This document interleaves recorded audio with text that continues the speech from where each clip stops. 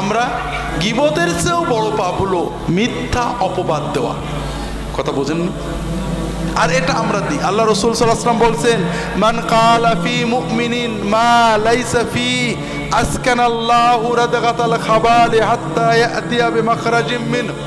যদি কেউ কোনো মুসলমানের ব্যাপারে এমন কথা বলে যেটা সত্য নয়, কেয়ামতের দিন জাহান্নামের মানুষদের রক্ত পোশাক পায়খানা, পুজ যেখানে জমা হবে, সেই সাগরের ভিতরে আল্লাহ তাআলা ওই ব্যক্তিকে রেখে দিয়ে বলবেন, তুমি যে অমকের ব্যাপারে কথা বলেছিলে, এই কথার দলিল দিয়ে এখান থেকে বেরোবা।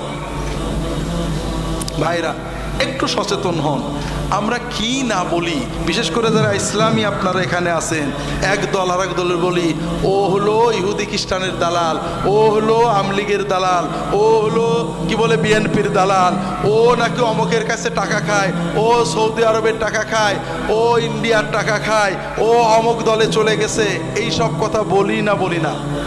কেয়ামতের দিন আল্লাহ তালা আমাদেরকে বলবেন দলিল দিতে। দিতে পারবেন তো? দুনিয়ায় দেখেন, কেউ যদি বলে, অমক লোক আমেরিকার দালাল, অমক লোক ইন্ডিয়া থেকে টাকা খায়। আপনি তাকে বলবেন, তুমি কসম করে বলো তো, আমি যেটা বলেছি সত্য। যদি অমক লোক ইন্ডিয়ার টাকা না খায়, তাহলে আমার বউ তিন তালাক। এটা কেউ বলতে পারবে? তার মানে ও কিন্তু আন্দাজে বলেছে। আর এই আন্দাজ কথাটাই হারাম। দলিল ছাড়া একজন মুসলমানের ব্যাপারে যে কথাটা আপনি বলবেন, কেয়ামতে আল্লাহ তালা আপনার কাছ থেকে এটা আদায় করে নেবেন কাজেই ভাইরা এই কথাগুলো, এই ধরনের কর্ম থেকে নিজেদের জপানগুলোকে হেফাজত করুন, আমিন।